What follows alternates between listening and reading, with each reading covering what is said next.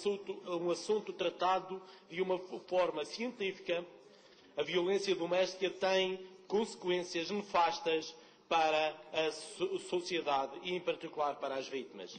Na Madeira nunca houve um estudo sério que investigasse as razões antropológicas, sociológicas e psicológicas que, que permitisse um, um trabalho técnico de combate à violência doméstica.